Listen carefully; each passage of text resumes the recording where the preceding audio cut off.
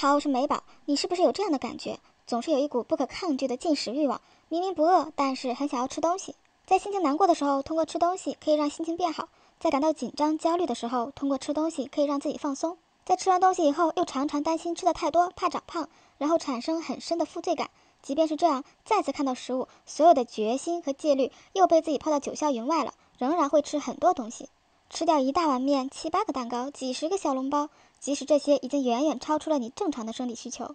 其实这是一种病，学名为神经性贪食症，也叫贪食症、暴食症，是以反复发作的暴饮暴食为特征，并伴随着很多防止体重增长的补偿性的行为，例如绝食、催吐、过度运动、吃减肥药等等。这其实是一种进食障碍，这种病的发病率极高，女性的发病率在百分之三到百分之六，是男性的十倍。至于它的成因，与生物、心理、社会文化因素都有关。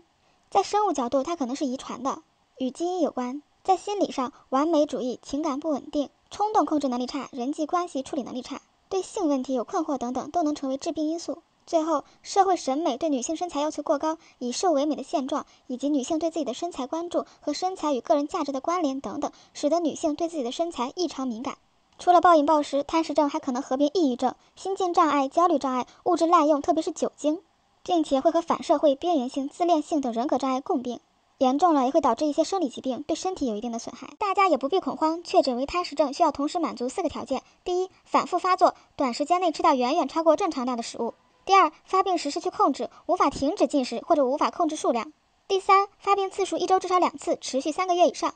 第四，发病初期会感到羞愧，秘密进食，暴食后会悔恨，并渐渐失去对自己的信心。严重的病人是需要到医院求医的。为了避免患上贪食症，我们要怎么做呢？首先，我们要对自己有客观的认识，不要过度的轻视自己，改变思维方式，记录自己的饮食情况，积极的去改善自己的人际关系，增强自信，给自己良好的心理暗示，自。